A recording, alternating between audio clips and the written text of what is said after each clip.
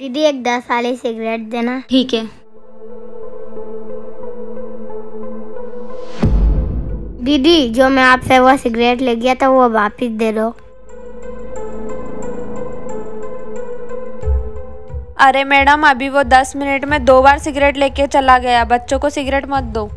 मुझे उससे क्या? दो बार क्या मैं तो सौ बार दूँगी? मेरी तो दुकान चल रही चाहे वो तो मर भी जाए मुझे क्या मतलब? अरे ऐसा मत बोलो मेरा दिल नहीं मान रहा है। चल अपन उस बच्चे को देख के आते हैं आखिर वो इतनी सिगरेटों का करके आ रहा है। बेटा दुकान का ध्यान रखना मैं आती हूँ। चलो।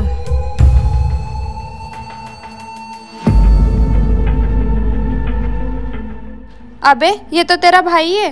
क्यों रे इतनी देर काई में हो गई? इतनी दूर से आऊँगा तो टाइम तो लगेगा। जल्दी जला सिगरेट सवर नहीं हो रहा है। देख बहन तू जो चंद पैसों के लिए सिगरेट बेच रही है ना आज वो सिगरेट तेरा भाई पी रहा है। हाँ बहन तू सही बोल रही है आज से मैं सिगरेट बेचना बंद कर दूँगी।